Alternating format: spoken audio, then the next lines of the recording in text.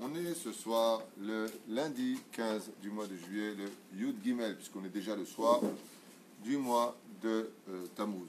Un chiour euh, qui sera dédié pour euh, Gamiel Maman, Todaraba, et on remerciera aussi de par cette même occasion euh, Cécile Selam, qui demain matin aura son chiour, Bineder.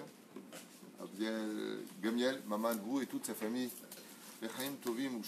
On est dans le Sod Hashmal. Et puis, comme vous le savez, c'est le lundi qui précède. C'est le lundi qui précède, après, si Dieu veut. Euh, Yud Zain Betamuz, puisque le 17 Tammuz tombe Shabbat. Et comme Shabbat, c'est plus fort que le jeûne du 17 Tammuz, il est repoussé au dimanche. Euh, c'est une période, selon les Chachamim, d'abord et avant tout les Nishmat Kol Mete Israël, et puis pour la grande Shlema de tous les malades d'Israël, que Dieu bénisse tous ceux qui nous soutiennent, particulièrement Mikol Alev, un clin d'œil à tous ceux de Paris, nos organisateurs, ceux de Marseille, qu'on aime très fort, Shem Ruben, David Ayakar, tous ceux qui sont avec nous, Mamash, vous méritez toute notre gratitude, nos applaudissements. Je rappelle qu'on cherche des fonds pour pouvoir construire notre binyan avec l'aide d'Hachem, tout celui qui a les moyens de pouvoir le faire ou le srout, tavo ala beracha. Euh, la période de Yudzaïn Betamuz jusqu'à Tisha s'appelle Ben Ametzarim. Ben Ametzarim, ça veut dire, euh, c'est une période d'étroitesse. Au lieu de pouvoir, on va dire, marcher dans les couloirs larges du Mazal d'Israël, de la vie d'Israël, même si Israël est au-dessus des Mazalot, comme on sait tous, eh bien, Ben Hametzarim, Hametzar. Ça veut dire qu'on va passer maintenant dans des couloirs d'étroitesse pendant une période de 21 jours qui euh, annonce quelque part des choses difficiles, mais il faut savoir que dans les épreuves difficiles, il y a toujours un bonheur absolu. Chose qui est bizarre. Pourquoi? Parce que les Chachamim nous ont montré sur le domaine historique que tous les malheurs que nous avons eus en général à l'échelle nationale du peuple d'Israël ont eu lieu pendant Ben Hametzarim. Pendant cette période-là, et la liste serait longue à faire, je vais vérifier une fois avec euh, plein de, pogroms qui ont eu lieu, qui ont éclaté, qui, qui, qui, c'est mamage tous pendant cette période. Du 17 Tammuz jusqu'au 9, jusqu'au 9 Av, période difficile. Ce qui est avantageux quand tu entends ça, c'est que si ça se passe d'une période précise à une période précise, et qu'après cela tu tombes dans la période des slichot, ouais, donc il y a la période des mariages, puis après tu tombes le Aleph du mois de Elul, c'est Rosh le lendemain on rentre réellement dans le mois de Elul, donc en réalité le Aleph c'est le 30, le Bet c'est déjà le, premier du bois, on fait les slichot, et pendant 30 jours, on va chanter en l'honneur de Dieu, notre pardon parce qu'il n'y a pas plus grand au monde que la Teshuvah. Et on voit qu'en fin de compte, ça appartient à des cycles et des périodes. S'il y a des cycles et qu'il y a des périodes, aussi bien pour les périodes étroites que les périodes larges, que Dieu il a un, cœur qui est large pour accepter notre pardon en chantant, j'efface tes fautes, c'est extraordinaire, c'est incompréhensible. Le mec il a fait du mal toute sa vie, vient chanter à son copain, écoute, je te demande pardon de tout mon cœur, et l'utilité quoi? T'es une bombe. C'est débile. C'est pas logique. Le créateur du monde est donc à la source des périodes. Parce que si c'est réglé par des périodes, c'est qu'il y a euh, un technicien qui permet de façon cyclique à régler d'un côté les dettes du peuple d'Israël.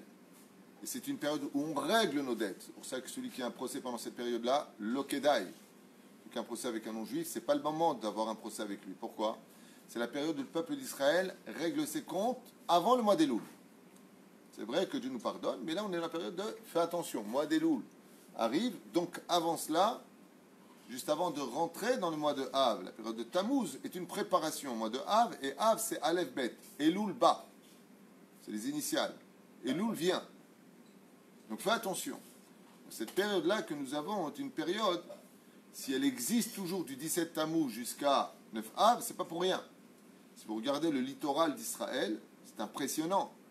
D'année en année, à cette même période, viennent des méduses bleues et blancs. Vous avez vu les méduses en Israël Elles sont bleues et blancs. aux couleurs de notre magnifique drapeau. Ouais. Le lendemain de Tisha B'Av, j'ai été voir ça deux fois pour le voir de mes propres yeux, parce qu'à chaque fois on me le dit. Les midis nous disent goodbye. C'est-à-dire, Dieu nous envoie même des gardiens comme un des plus grands interdits de la Torah que les gens ignorent. Par ils le font par euh, révolte ou pour lutter contre Dieu. C'est d'aller à la plage mélanger. C'est un issour qui n'est pas moins grave que de manger du porc. Les gens ne le savent pas, c'est tout. Ah, le porc, non, mais alors à la plage mélangée, il n'y a pas de problème. Qui a dit que c'est permis? C'est un issour de Raïta, sourd. Brachot, Samechalef Amoudalef. Lo alenu. Et qui va là-bas, Lo geinam. Il ne sera pas nettoyé du din du geinam. Donc qu'est-ce qu'il fait à dans sa grande miséricorde? En cette période d'étroitesse, il nous montre des choses dans la nature qui montrent bien qu'il y a un chef d'orchestre derrière. Et pourquoi est-ce qu'on a eu besoin d'avoir ce cycle de périodes? Eh bien parce que le Yetzerara nous fait souvent croire que nous sommes les chefs d'orchestre de nos vies, que nous sommes les chefs d'orchestre des événements. Et Akadosh Baruch il nous dit Hé, hé, fais attention, c'est pendant cette période que l'étroitesse de ta vie existe. Alors bien sûr, il y en a qui vont nous dire, ben, excuse-moi, mais moi ça fait des années que c'est euh, Ben Ametzarim alors, hein, parce que euh, bien avant ça, j'ai eu ça, j'ai eu ça. À l'échelle individuelle, tu peux passer par des, périodes d'étroitesse, mais à l'échelle nationale, c'est Ben Ametzarim. Une grande différence. À l'échelle individuelle, tu peux passer par des périodes, même de Tisha quand tu perds quelqu'un dans ta vie, c'est un jour de Tisha pour toi. Comme on est assis par terre, tu vas t'asseoir par terre pendant sept jours. Mais ça, c'est pas à l'échelle nationale, c'est à l'échelle individuelle. Le deuxième trésor qu'on puisse trouver dans une période aussi difficile que Ben Ametzarim, c'est que des fois, le fait de briser quelque chose, c'est pour mieux le réparer. Et quand on prie Hachem, vous savez, on prie Hachem. Il y a une direction que l'on prend qu'on appelle Jérusalem. Yerushalayim. Ouais. Et quand on est à Jérusalem, on se tourne vers le Beth Amikdash. Quand on est dans le Beth Amikdash, on se tourne vers le Kodesh HaKodashim. C'est du sucre.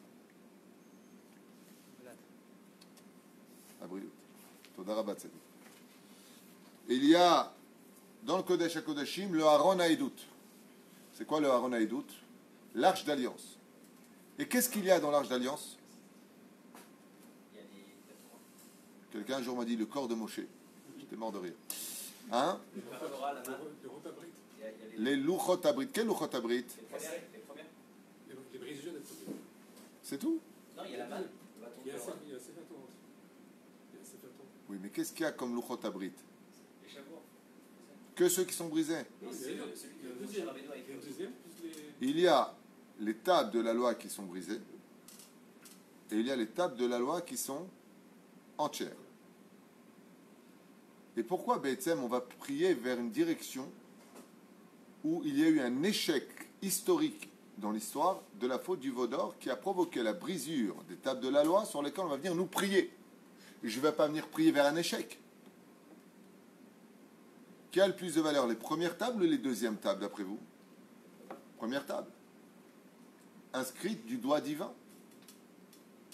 Et si on avait ces tables-là aujourd'hui reconstituées, on n'aurait pas besoin de réétudier la Torah.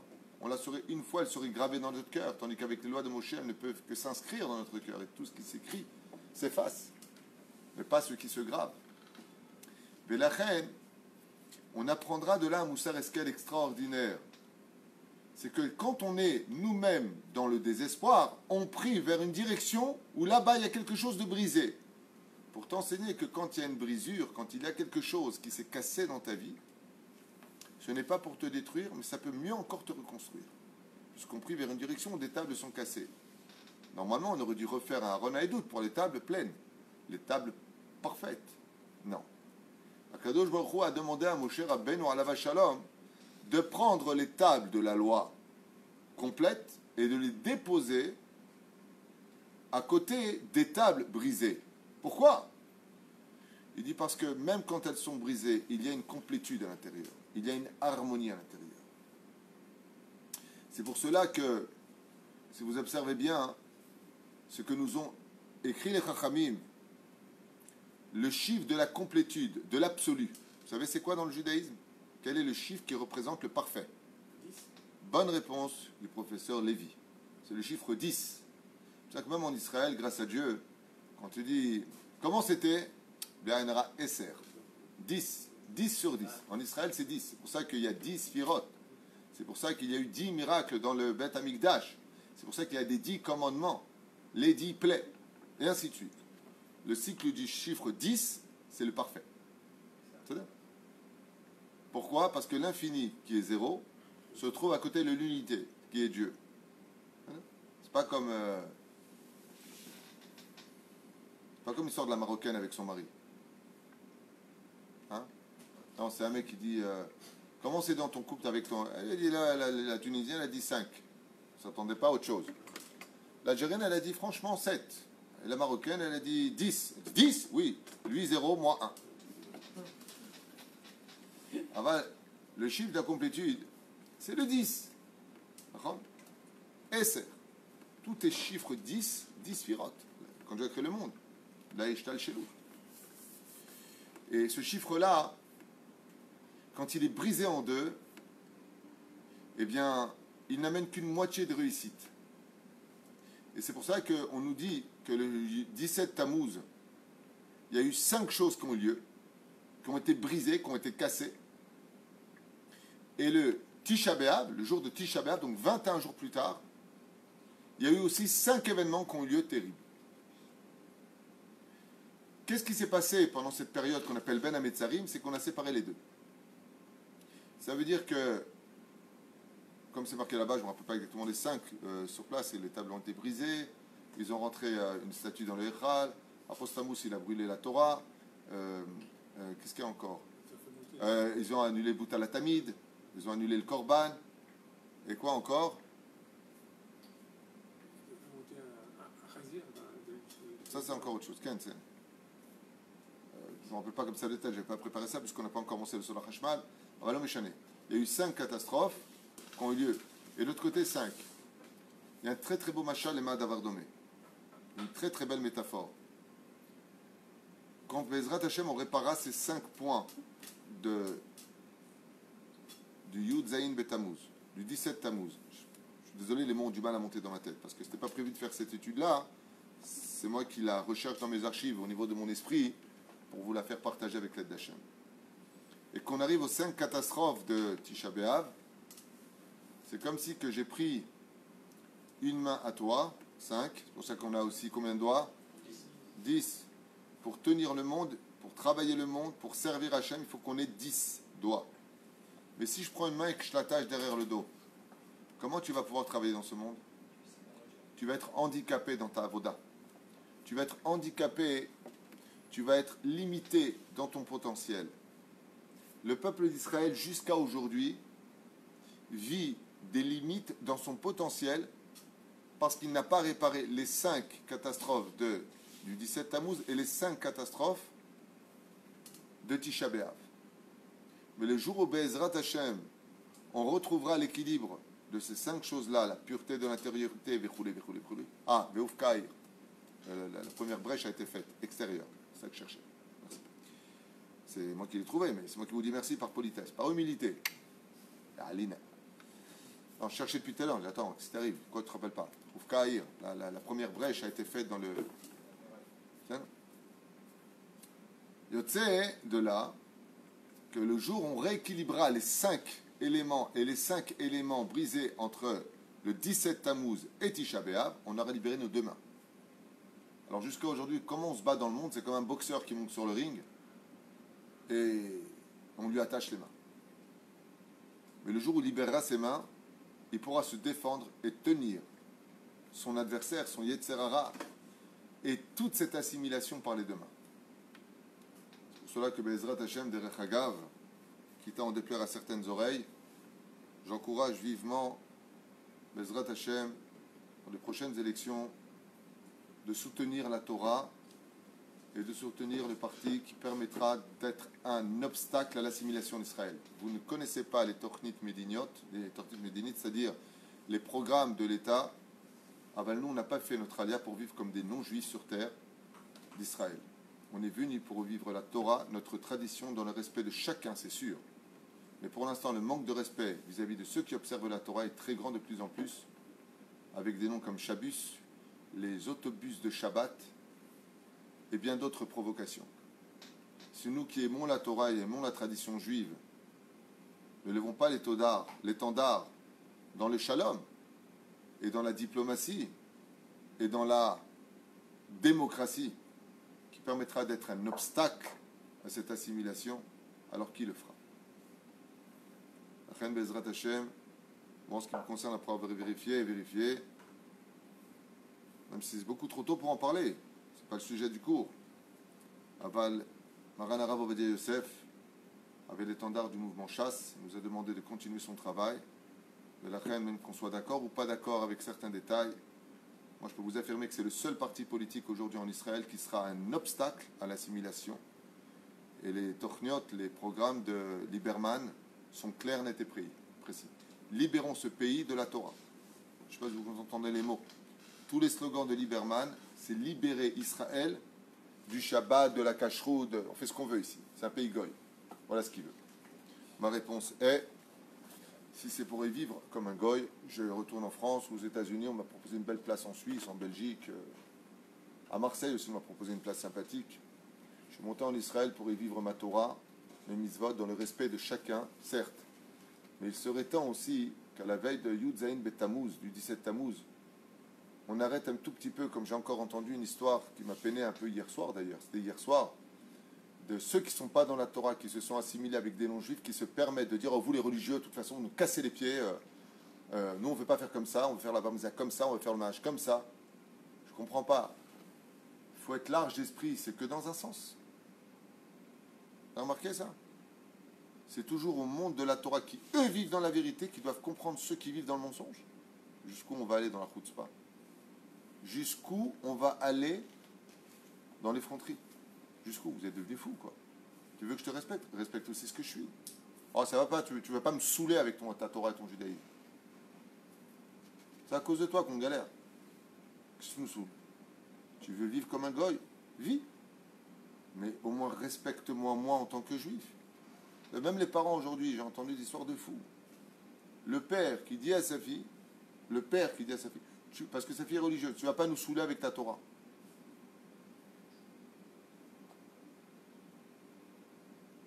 Tu veux qu'on te respecte en tant que juif qui ne se comporte pas comme il faut? D'accord, on ne juge pas, mais ne nous juge pas non plus. Ta fille, elle veut que son fils il mange cachère, elle veut, elle veut le kissouille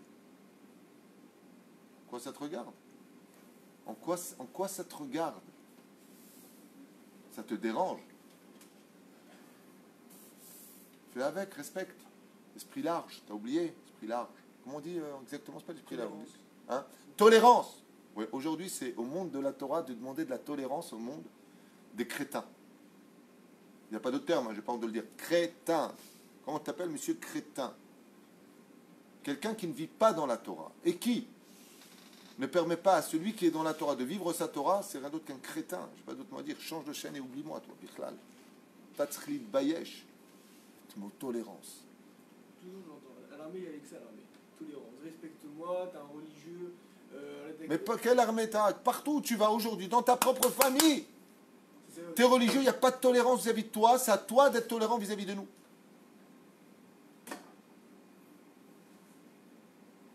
Imaginez un peu le cas. Et imagine un peu le cas. Le mec, il a une sœur qui est homosexuelle. Lesbienne, on dit en français, non? Ouais, eh ben elle s'appelle comme ça. Elle veut t'imposer ça. Copine ou son copain, je ne sais pas comment on appelle ça, à la maison. Et une non-juive. Je te l'impose. Et si tu ne l'acceptes pas, tu n'as pas de tolérance, tu es un fanatique. Mais t'as dit, t'es devenu fou, quoi. Mes enfants, ils ont besoin de voir ça les gens sont devenus fous. Avant, les homosexuels, ils avaient honte, ils ne se montraient pas. Maintenant, c'est je me montre et je vais faire subir à toi. Et si tu ne l'acceptes pas de subir, tu n'as pas de tolérance. Une camisole de force, Baba, tu es devenu fou. Les gens sont devenus fous. Pour ça, je dis crétin, c'est pas une insulte, c'est un état de fait. Les gens sont devenus fous. Tout est basé sur la tolérance, intolérance. Ma boule, ma boule, ma marche dans un monde de fous. Je sais pas, avant, il y avait un peu de honte. Non, viens pas, arrête, c'est honteux. Aujourd'hui, quelle honte?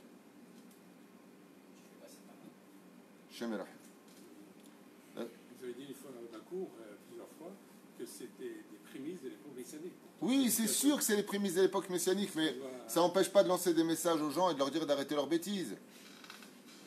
C'est sûr que c'est l'époque messianique, mais on ne va pas non plus recevoir des rochers sur la tête. Aujourd'hui, on est face à une situation au niveau du gouvernement où les élections sont basées sur deux pôles. Deux pôles. La situation du peuple n'intéresse personne au gouvernement. La première, c'est effacer Bibi. La deuxième, c'est tuer la Torah. Oh, où est-ce qu'on va aller? Et le parti qui se tient comme un obstacle à cette assimilation, c'est le parti chasse, qui donnera ses voix à Bibi. Donc en votant chasse, on vote Bibi.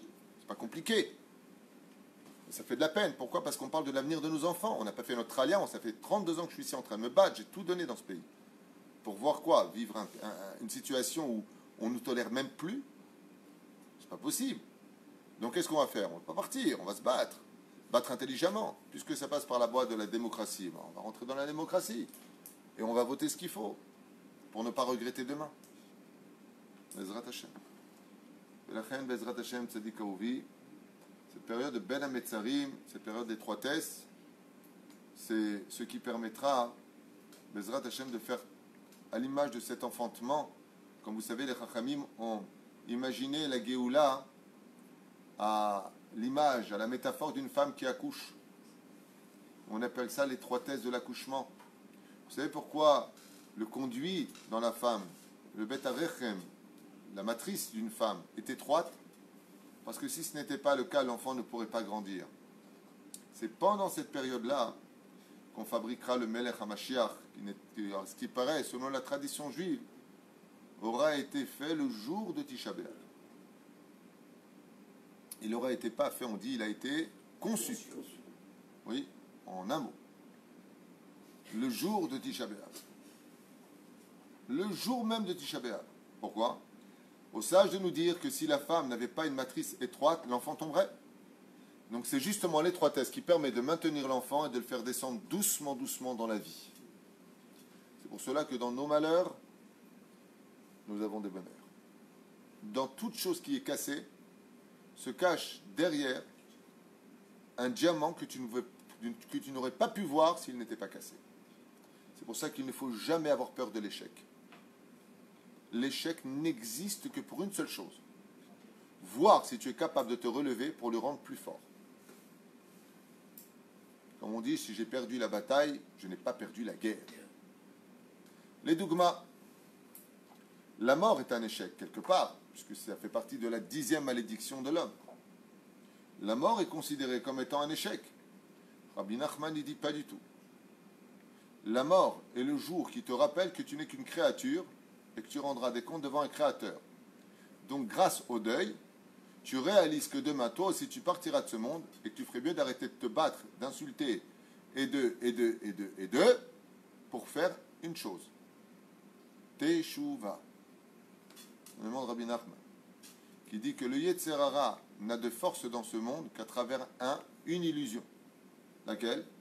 Celle de te faire croire que tu es là pour l'éternité, que tu es immortel. Quand tu attends la mort de quelqu'un, chez l'Oneda, tu entends une personne est décédée. Why? Ah bon, qu'est-ce qui s'est passé? Et au fur et à mesure de nos vies, comme euh, on entend certaines personnes loin de nous, on croit que ça fait partie d'une élite de gens qui n'ont pas eu de chance. Mais d'un coup, tu entends que c'est ton père qui est parti. Comme mon père à la Vacharam qui est parti. Parce que son père à lui aussi est parti. Qu'est-ce que ça vient me rappeler à moi? Tout comme tu as connu ton père, que Dieu repose son âme. De la même façon, toi aussi, tu partiras un jour. N'oublie pas que tu partiras un jour. N'oublie pas que tu prendras rien avec toi. Et n'oublie pas que tu rendras des comptes sur chaque pensée, chaque parole et chaque, action. Et qu'on te posera la question là-haut, est-ce que tu as été Shomer Shabbat? Est-ce que tu as mangé Kacher Est-ce que tu as été un bon juif? Est-ce que tu as aimé ton peuple? Est-ce que tu as aimé ta terre? Est-ce que tu as respecté ta nation? Et tu arriveras à la question finale, qu'est-ce que tu as fait pour moi? Est-ce que tu as fait les choses pour toi? Ou est-ce que tu m'as honoré à moi? Comme ça, il dit à Kadosh Baruch. L'emi avadta, ou plutôt almi avadta, pour ceux qui comprennent les mots. לכן ימי אבלות בזמן הזה צריך לצום ולעשות תשובה כדי לזכות להוציא את הטובות שטמונים ברעות הללו. On commence le sol à Hashmal. Et c'est pour cela que les Chachamim nous disent pendant la période de brisure dans ta vie, quand tu subis une épreuve, tout à l'heure je vous avais expliqué entre Mincha et Arvit l'extraordinaire importance quand tu passes une épreuve de t'imprégner de cette épreuve au niveau de l'intellect et non pas au niveau du cœur. La faiblesse de l'homme vient toujours du fait qu'il prend tout à cœur. Il faut prendre les choses avec intellect, avec cerveau, analyse des choses. Parce que le cœur a toujours le même problème. Il extrapole les dimensions. Un truc qui était banal, il peut te le rendre très grave. Parce que tu as pris ça au niveau du cœur. J'ai fait un chidour et alors, ça a marché. Eh ben bon débarras, il y en a une autre, qu'est-ce qu'il y a? Euh, Ça fait mon centième. Eh ben, tu as de la chance, Dieu, ça fait 3000 ans qu'il attend. Ça fait 3000 années, lui, qu'il attend. Depuis le, le don de la Torah, 3500 ans, qu'il attend depuis l'heure Sinaï de se redévoiler dans le monde. Patient, lui. Hein. T'as pas réussi, mais tu réussiras demain. Jusqu'au jour on entendra Siman Tov ou Mazel Tov.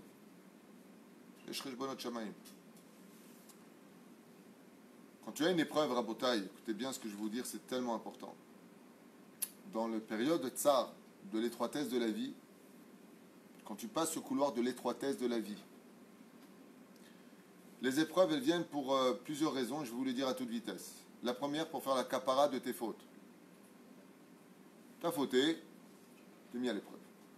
La deuxième, pour te montrer ton niveau réel dans ta émouna. C'est facile d'être un philosophe des livres, mais quand vient l'épreuve, on voit ta émouna. Avoir confiance en Dieu, il n'y a que Dieu. En attendant, tu as une épreuve, on ne sait plus euh, à qui parler. Là. Le mec, il est effondré. Nous. La troisième, c'est comme les grades. Quand tu veux passer commandant à l'armée ou sergent-chef, tu fais le parcours du combattant. Les épreuves t'élèvent à un degré différent, Eric. C'est ça qui est extraordinaire. Eric, comment c'est quoi ton nom de famille? Oh, Bah oui, je louche pas. Vidal. Vidal, Eric Vidal. Ah, D'accord. Adam, quand il passe une épreuve, c'est pour l'augmenter de niveau. C'est comme tu, tu es toi Richon, toi Chéni, toi Chichi, tu as des degrés. Plus tu as de degrés, plus avant même de commencer, ta paye augmente. La paye de quelqu'un qui va travailler à l'Amérique qui n'a pas de toit Richon, elle est de 5-6 000 shekels. S'il a toit Richon, il monte à 8 automatiquement. S'il a deux toarim, il monte à 18 000. S'il a trois toarim, il peut monter très très haut. Toar. C'est des diplômes. C'est comme ça. Donc l'épreuve, des fois, elle vient, non pas pour te punir, mais pour que tu aies le grade supérieur à ce que tu étais. Les 10 épreuves d'Abraham Abinu. Encore une fois le mot 10. Chez les Goïms, c'est les 12 épreuves d'Astérix, chez eux c'est 12, nous c'est 10. Un peu d'humour. L'épreuve, elle vient aussi pour une chose. À part toutes les explications qui existent, quand tu passes dans les trois thèses dans la vie, c'est que des fois l'épreuve, elle vient à toi parce que dans la vie, toi, tu vas être voué à aider des personnes qui auront ces épreuves.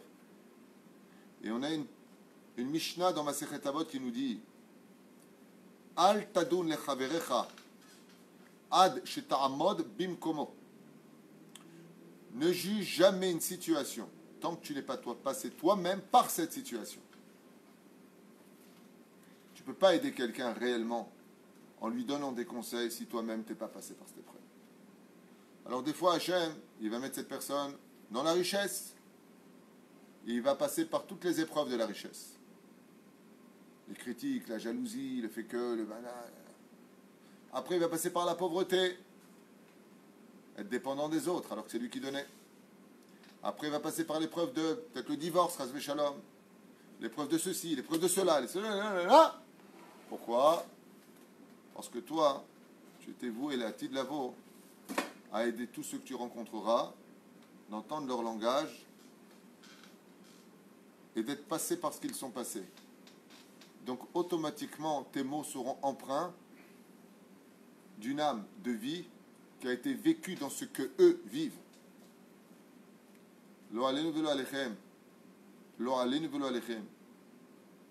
Quand des gens perdent des enfants et que tu viens pour aller les voir et les consoler, qu'est-ce que tu peux leur dire? Mais quand celui qui vient consoler lui-même, il a perdu un enfant, ces paroles sont automatiquement différentes et même si elles sont comme celles des autres, elles ont une lumière qui fait briller plus fort leurs paroles dans le cœur de l'autre parce que lui sait de quoi je parle. Lui, il comprend. Quand vous partez après le deuil, ce que la personne elle ressent, parce qu'il l'a vécu sur sa chair. Même si dans l'absolu on ne vit pas les mêmes événements au même niveau, chacun va vivre une épreuve avec beaucoup plus de larmes, d'autres moins de larmes. C'est sûr, on est tous différents. Mais quand ça passe sur ton corps et que tu sais ce que c'est, quand quelqu'un il a une rage dedans et qu'il en a souffert toute sa jeunesse et qu'il entend d'autres qui disent Waouh, j'ai une rage dedans, il lui met la main sur l'épaule. Il dit Maintenant ça va mieux T'es parti Il t'a dévitalisé, dévitalisé le nerf Pourquoi tu donnes des détails? Parce que c'est tellement douloureux une rage dedans. Bien que celui qui l'a vécu qui sait de quoi on parle. Il y avait un film de Mel Brooks à l'époque que Maurice aime bien. Non, ça s'appelle Une vie de chien. Une chaîne de vie, pardon, autant pour moi. C'était un titre de film. Et c'est un homme comme ça qui était très orgueilleux et qui torquait des divours. Il a fait un pari avec quelqu'un qui pourrait vivre comme un clochard deux semaines dans la rue, sans dire qui il est, sans ses cartes Visa, sans son portefeuille, sans rien. Deux semaines. Il a dit Moi, je peux tenir. Tourne à la fin du film, il épouse une clocharde.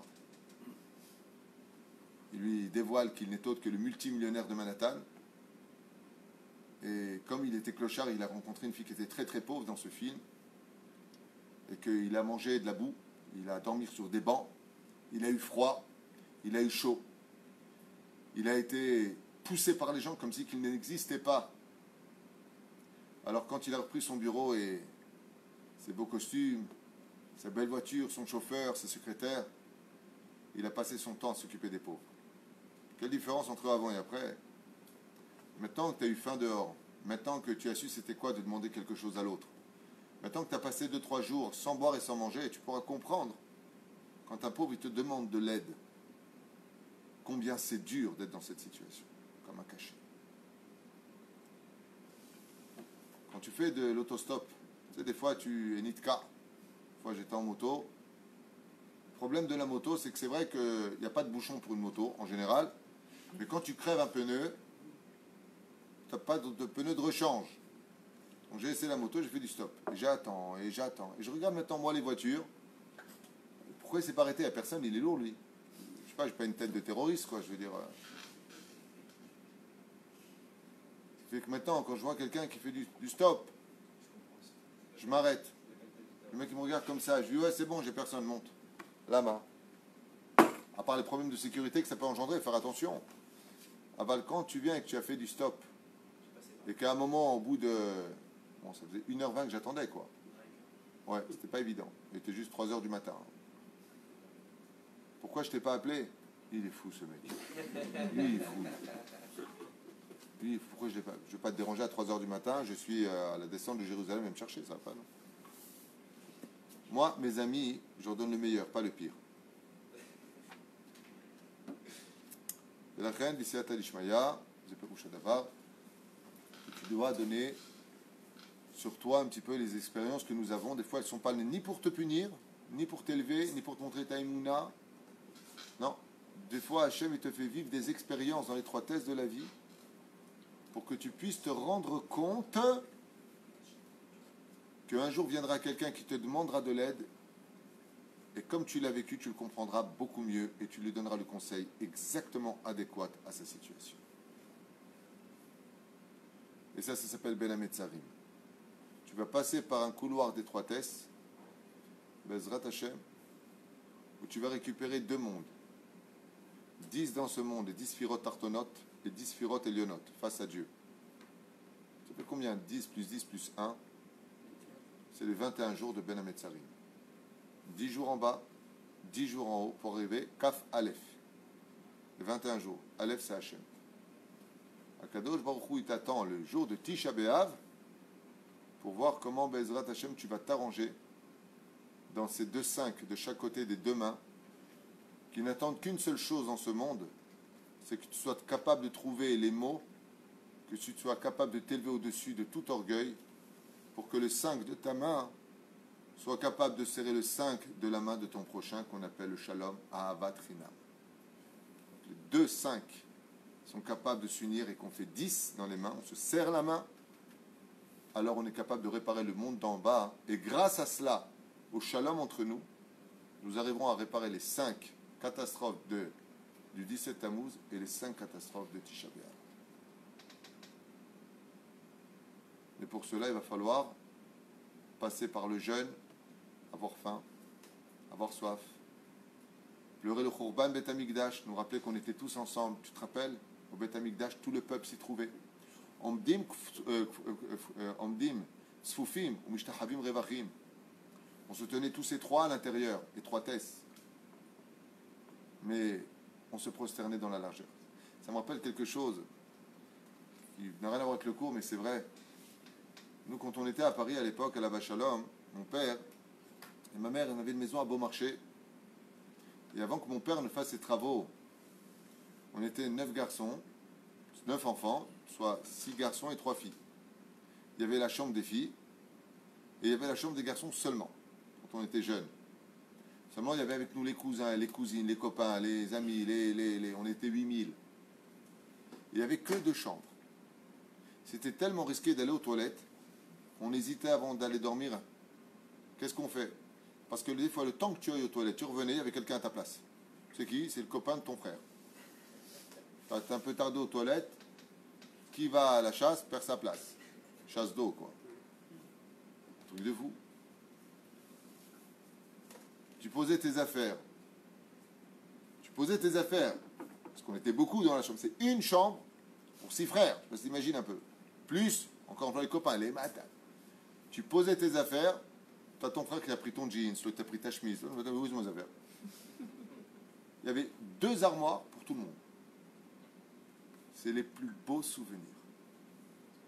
C'est les plus beaux souvenirs. Je me souviens de ma jeunesse et je me rappelle comme on était à la maison. On était tous ensemble. Des fois, on marchait sur le pied de l'un, sur la main de l'autre. Je te raconte pas le truc de fou. C'était pas la peine de dire attends, range la chambre. Tu dois ranger quoi? Tu peux même pas, tu peux même pas passer pour la ranger. Après, mon père, il a fait les travaux, chacun deux par chambre, un par chambre. Il y a un charme qui est parti, bizarrement. On était tout le temps ensemble, on rigolait tard le soir, on était une famille. Aujourd'hui, dans le modernisme, chacun a sa chambre, chacun sa clé, chacun son ordinateur, chacun son lit, chacun. Je n'ai pas vu une période aussi triste que celle-ci. Ben Ametzar, les, jours pardon, les jours de joie les plus énormes de l'histoire juive ont eu lieu pendant la période de Ben Ametzarim. Pas parce que Dieu va les transformer, parce que Dieu va nous sortir de cette étroitesse les solutions qui étaient pour nous un vrai bonheur.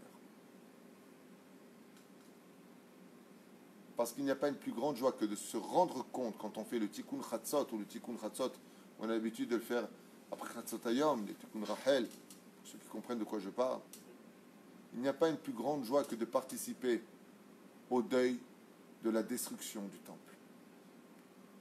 C'est une joie de dire à Dieu, je suis avec toi.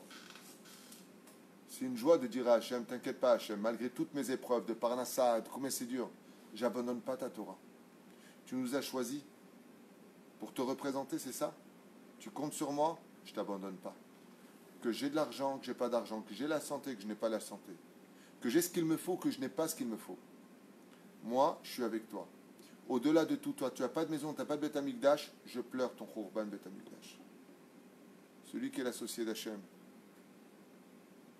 est automatiquement l'homme le plus heureux du monde. C'est un choix à faire. Et des fois, ce choix, il se passe par la largesse d'un grand couloir, mais des fois, ce choix, il se passe aussi par l'étroitesse. Quand Abraham Avinu est devenu Abraham, il lui a dit Prends ton fils et va le sacrifier. Est-ce que là-bas, tu seras capable de rester avec moi? Abraham Et Abraham se leva tôt le matin. On a vu que Balak, quand il demande à Bilaam de venir, et que l'âne passe par un endroit étroit, et que son pied se frotte contre une espèce de cotel, une espèce de mur, il frappe son âne, sort son épée et tue son ânesse.